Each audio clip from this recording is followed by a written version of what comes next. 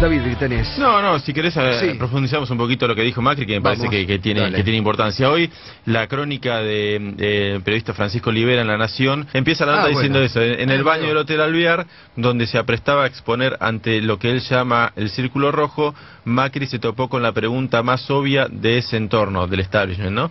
¿Es posible un acuerdo con Sergio Massa? La respuesta fue acorde con el lugar, a las apuradas e idéntica a la que insinuaría en el discurso, tal vez en el balotaje. Pero sí, evidentemente Qué lo apretaron hasta en el baño, digamos, este, y él dijo, bueno, tal vez en el balotaje. También dijo que lo va a echar a, a Banoli.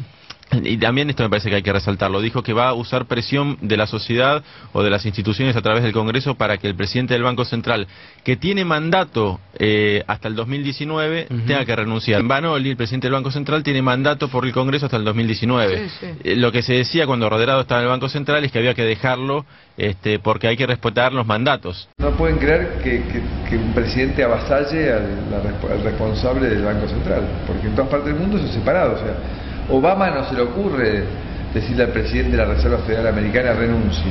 Obama no se le ocurre decirle al presidente de la Reserva Federal Americana renuncie.